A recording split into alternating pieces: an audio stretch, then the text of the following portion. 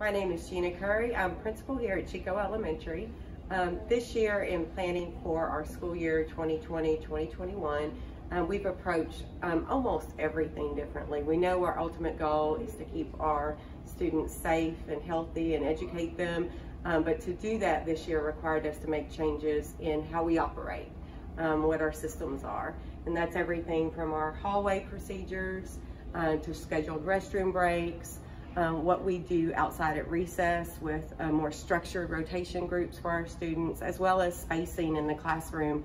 Um, in a, a, variety of our classrooms, we switched out tables for desks to allow for more spacing, um, as well as our practices up front for how we sign in and how employees um, also enter in the building um, in the back. So really every facet of, of how we've approached uh, our interactions and um, just conduct ourselves um, has changed uh, due to COVID-19. So on the floor here, um, you'll see that we've got um, just our Chicot logo, um, but it's really for spacing in the hallway. They're face, uh, spaced six feet apart, um, all the way down through all of the corridors. And you'll notice on the sides, uh, we have the same thing, but they're not directly across. They're staggered uh, to promote more distancing. Um, and they allow for us to have traffic um, both ways or one way at certain times of the day where the teachers um, can spread the class out and monitor well. Yes, on the water fountains here, you'll notice we've got the water fountains covered. Um, this year, just for utmost safety, we're going to be doing our water breaks inside the classroom. We've got insulated um, igloo containers we'll be filling with ice and water daily um, and we'll have disposable cups so we don't have to worry about uh, cleanliness of water bottles and how students use the water fountains um, here in the halls.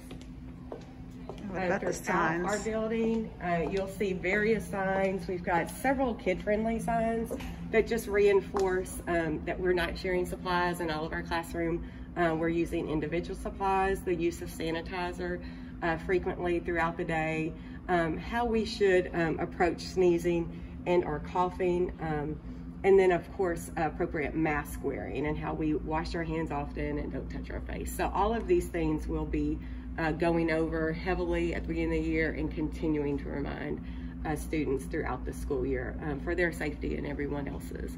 Um, and then we also have district signage as well on the opposite walls at various points, um, just to let any visitors that we do have um, our people coming into the building know that we take this seriously. Our building is regularly disinfected, um, as well as um, our signs that promote social distancing. This is a shot of Miss Sanders' classroom. She teaches uh, first grade here at Chicot.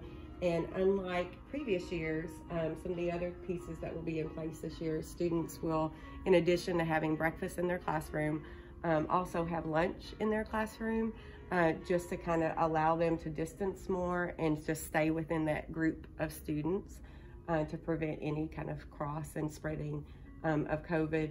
Uh, and then we'll also have our specialty teachers visit the classroom. So art and music, our counselor um, will come in and conduct their lessons. Um, of course, they'll be outside for PE and get all that, that fresh air. That'll be good uh, for them. But those are some additional changes we've made um, in our building and how we typically operate. Just tell me a little bit about your room, Ms. Sanders.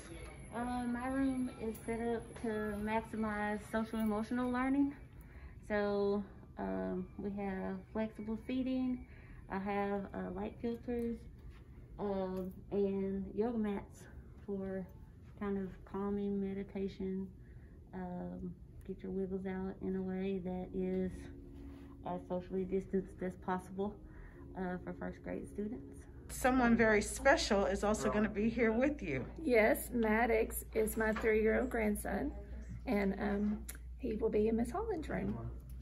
So I wanted to come see what she's got set up for them. How will he be safe and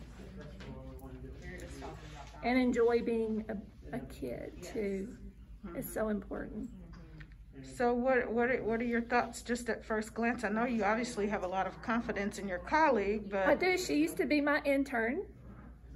So, yeah. So I have a lot of confidence in her. The room is very calming and it's nice. Yeah, I think it'll be, he will love it. So I'm lucky to have one of my grandparents Yes. to be someone that I learned from and can trust and lean on. So it's really comforting to have that. Okay, so we have different centers that they go to. They get to play. Um, like the one behind you is library. Then we have the block center right here. And then over here is housekeeping. They really love this center where they get to pretend to be mom, dad, grandma, grandpa, baby. They love that. And they love cooking, I'm sure. Oh, they love it. and this center over here is science. And there's a light table that they love and some ramps. They get to experiment over at the science center. It's popular too. Over here in this corner is our safe place.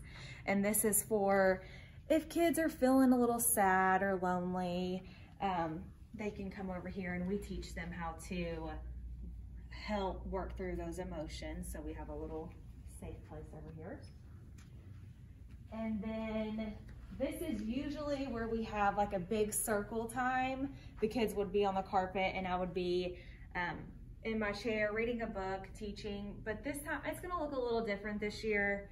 We won't have all the kids at the carpet. I'll just have pods. So the pod that her grandson will be in will just be him and two other that's in his pod and I'll read them a book, teach them, do our letters and stuff. Um, and then I'll go to the next pod. And then in between centers, we'll be cleaning the centers. Like there'll always be an empty center open so I can move one pod to the next center and then we can clean that last center out before the other pod gets moved in. We normally clean in pre-K and wash hands all the time anyway, but it's just even more so um, hand washing more and cleaning the toys and everything um, in between each pod instead of a couple times a day or at the end of the day. It's really more to keep them safe and then also just um, making sure to watch our kids, you know, for any symptoms and they are getting their temperatures taken at the beginning of the day and in the middle of the day if need be. Um, but those are just extra things that we're doing. We are doing everything that we can to keep these babies okay. What I would like to say to parents is, is that no matter what option you choose, whether it's in person or virtual, is to know that um, our staff here is extremely committed um, for the best learning environment for your child, either online or at school. Um, they've worked all summer uh, putting the best ideas forward and us taking everybody's ideas and making what we believe to be our safest plan available uh, for your child if you choose in person.